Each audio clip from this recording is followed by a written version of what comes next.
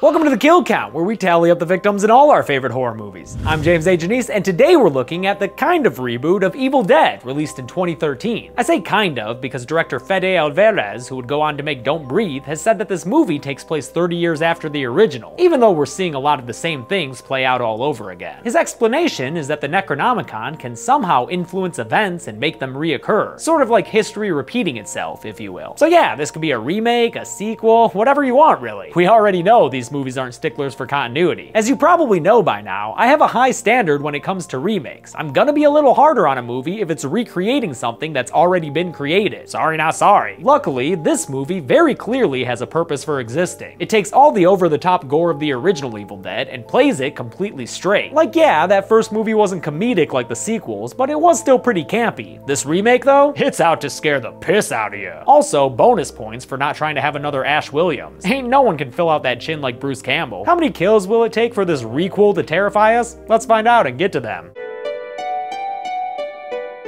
The movie begins in everyone's favorite haunted woods, where a teenage girl staggers around dripping blood from her hands. But mom always said not to go bleeding in a forest, lest you want a bag over your head and a shotgun butt to the face. That girl should listen to mama. She wakes up bound to a wooden pillar in a room with way too many dead cats for my liking. Poor kitties. An older woman reads aloud from the all-new Necronomicon until a bespectacled fellow steps up and removes the bag from the teenager's head. Daddy? Aw, we got ourselves a family reunion in the woods. That's nice. Except Papa tells his daughter that she killed her mom. That's not nice. And the spectators in the cabin encourage him to save her soul through the only method they know. So he apologizes to his daughter while dousing her in fuel, and as he gets ready to light a match, his extreme measures are validated. You're so loud, you pathetic fuck! The dead-eyed teenager keeps swearing at her pops as she burns there against the pillar, melting down to an Anakin Skywalker condition until her dad finally finishes off the kill and this cold open with a shotgun blast that blows apart her head. Yeah, that is one epic fucking title card. A bunch of beautiful aerial shots show a Jeep driving through a lot of forest and crossing a babbling brook to arrive at its remote location, an old wooden cabin with a work shed that, are we sick of yet after all these movies? Hell nah, we ain't sick of this shit. Bring on the book and the Deadites, man. Driving the Jeep is sadly the movie's most boring couple of characters, David Allen and his girlfriend Natalie. They meet with much more interesting peeps, Olivia the nursing student, played by Gotham's Jessica Lucas, and Eric the high school teacher, who was once close with David, but has since grown distant and bitter. They've all gathered here to help David's sister Mia, currently hanging out on the hood of the abandoned, overgrown classic, and played by Jane Levy of the criminally underrated Suburgatory. She's rocking an MSU sweatshirt and a mean addiction to heroin, which is why everyone has come to this cabin, to witness her ditch the habit down a well and help her get cleaned up cold turkey. And here, Mia, maybe this magnifying glass necklace will help you out. It's done a lot for other characters in the past. The cabin belongs to David and Mia's family, although when they get to the door, it appears as though someone has broken in and left it quite a mess. Probably that damn Sam Raimi. That boy will do all sorts of nonsense to get his movies made. Although they were once close, Mia and David now have a tense relationship, since he wasn't around to help her when their mom died in the hospital. He also wasn't around for the last time Mia tried to clean herself up, as Olivia and Eric tell him out on the porch. On that occasion, she bailed and started using again. But this time, they don't want to let that happen. David, when she breaks, and believe me, she will,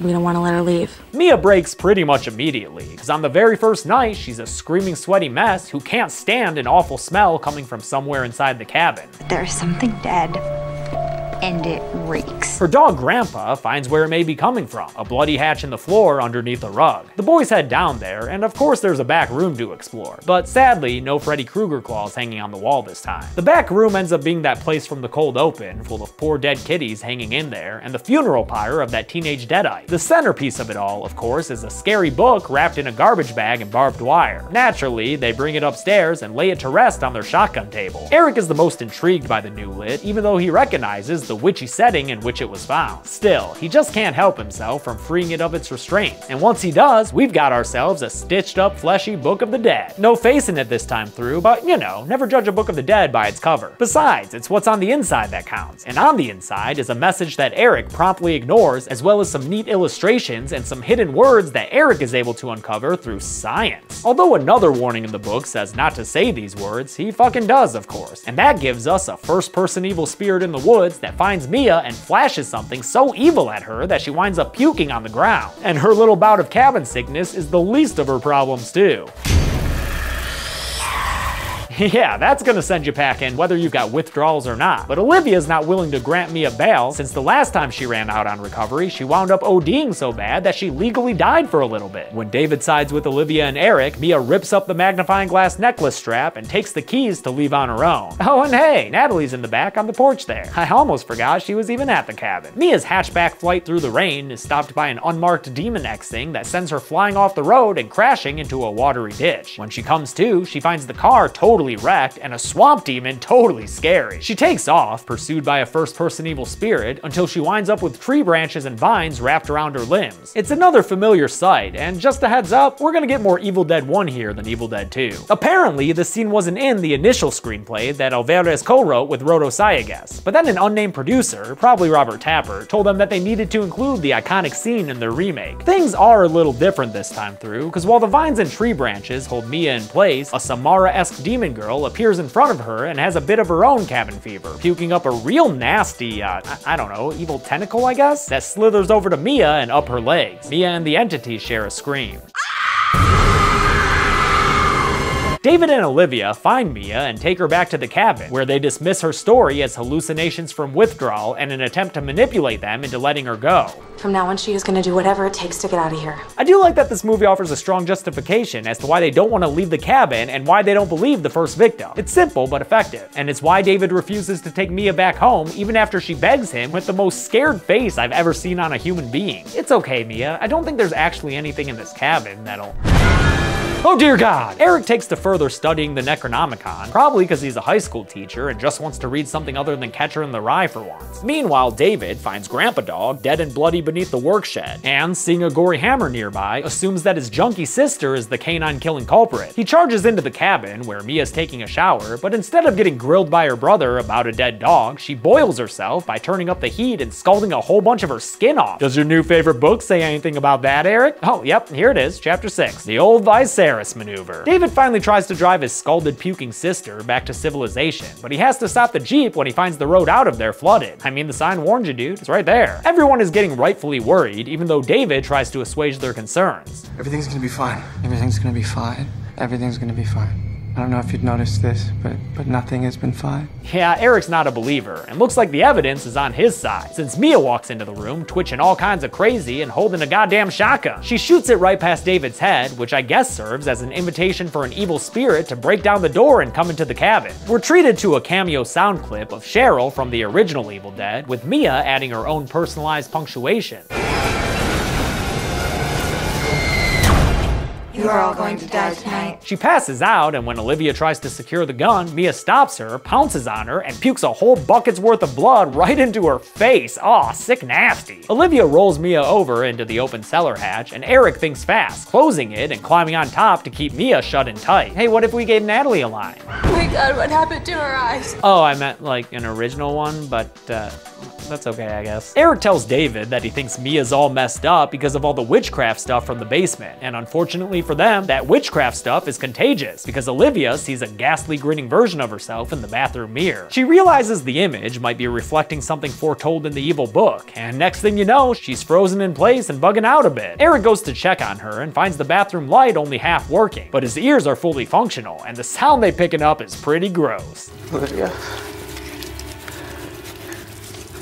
Turns out that's what it sounds like when someone saws their own face off. Holy shit, Olivia. When'd you start doing bath salts? Olivia is now possessed enough to cut off her own cheek, and according to our rules with this series, that means another one for the count. Deadite Olivia attacks the prone Eric and really messes him up good, stabbing him in the chest and beating at his face with a syringe. Good thing you opted for the extra strength glasses there, dude. When Olivia crawls towards him, ready to stab him some more, Eric grabs a broken piece of porcelain and smashes her head over and over until she's no longer moving. It may not be a proper dismemberment or anything, but this does kill the deadite Olivia. Again, different movie, different rules, I guess. David tends to Eric's wounds in the work shed with, uh, wait, what's her name again? Natalie? It doesn't matter, go on and get. As David patches him up, Eric confesses that he probably brought this all about by reading from the book. I released Something evil.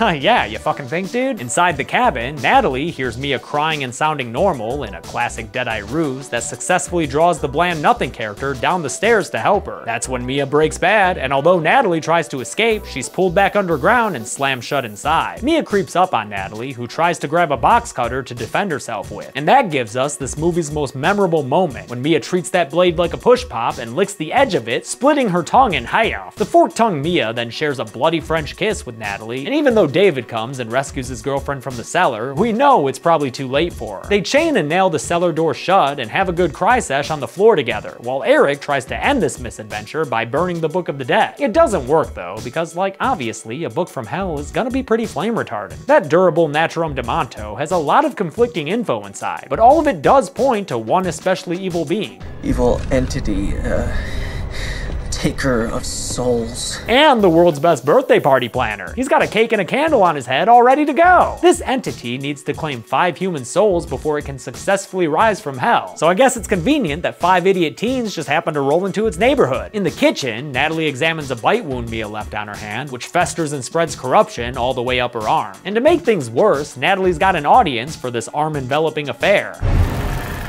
Motherfuck, man. When did Tessa Altman get so scary? Convinced that her hand is a lost cause, Natalie grabs an electric carver from the ground and, to her credit, does what needs to be done. She saws right on in until the bone breaks and the lights go out. Hot damn, this movie don't fuck around. Are you happy with yourself, Mia?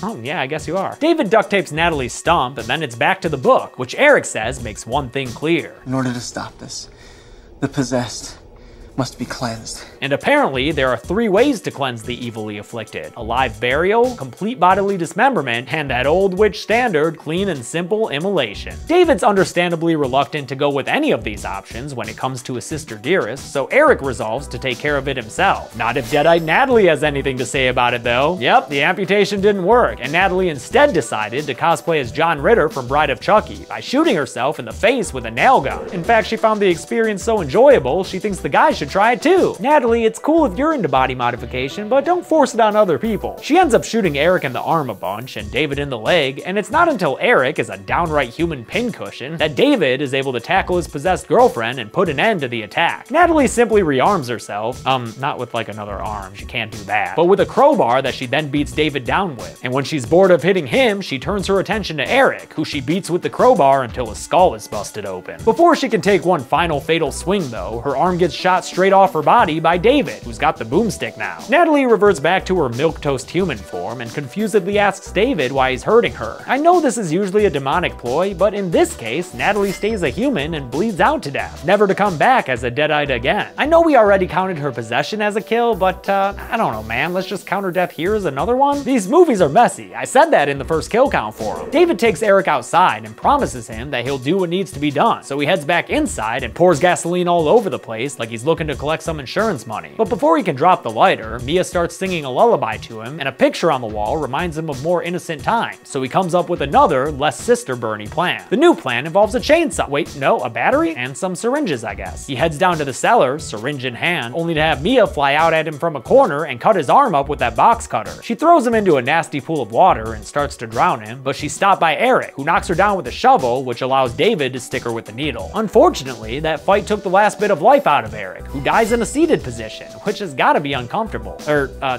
I didn't mean to put his body down in the water, David, because that's a, I mean, that's downright disrespectful, dude. It's gonna get moldy. David takes out to a grave he dug and buries her next to a burning tree that was struck by lightning. She's not ready to be put down for a nap, though, and wakes up acting like a regular human being, begging David for help. He doesn't fall for that old trick and instead keeps on a shoveling, not stopping to cry about it until the dirt is level and he can't hear the deadite no mo. Fun fact, they actually buried Jane Levy underground for this scene, so actor Shiloh Fernandez could be more emotional and urgent during it. When the burning tree goes out, David takes it as a sign that the medicine has run its course, so he digs his sister back up quickly, since again, she was actually buried down there, and uses the battery device he rigged up in the shed to stab her in the chest and try to zap her back to life. It doesn't appear to work at first, and David laments the loss of his loved one, but y'all know how movies work by now, of course she's gonna come back. Besides, I never put her on the count. That should have been a Deadite giveaway. Mia comes back from the Deadite and is legitimately free of her possession. So is is this a happy ending to our story? Mm, not exactly. They've still got to get out of this place, and Deadite Eric's not about to let that happen. After a neck stab with some pliers, David is in real bad condition, and although Mia wants to help him, he ushers her out of the cabin and tells her to go before slamming the door shut and locking her out. As Deadite Eric approaches, David gets the shotgun and aims it at the gasoline tank. His shot causes an explosion that engulfs the cabin in flames, and Mia watches from outside as her living brother and the Deadite Eric burn to death inside the cabin. Her consolation prize is an Evil Dead mainstay, but it's still kind of disappointing. I came back from being a Deadite and all I got was this stupid magnifying glass necklace? Well, if you want more theatrics, how about a biblical rainstorm of blood? Because I guess that even though Mia was able to come back from it, the evil entity did claim five human souls, you know? If you want to be technically correct about it, which is the best kind of correct. With the soul fundraising goal reached, the abomination rises from the earth and chases a blood-soaked Mia into a burrow below the workshed. Pretty shitty hiding place, Mia. I bet it's the first place it'll look. Oh!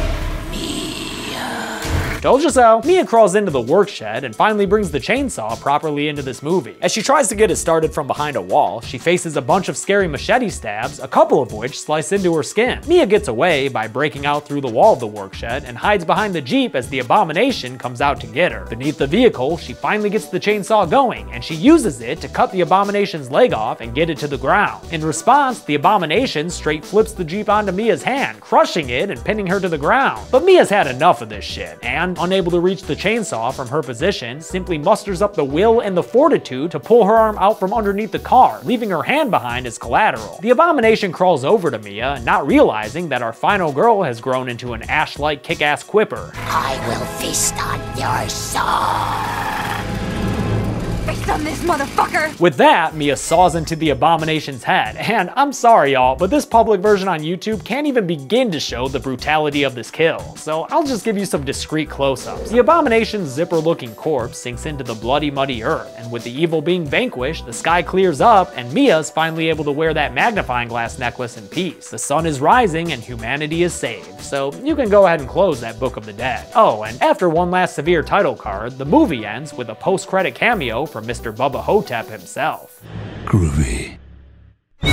Good lord, does it even matter how many kills there were when we had gore that crazy intense? Of course it does. We all about them analytics, baby. Let's get to the numbers.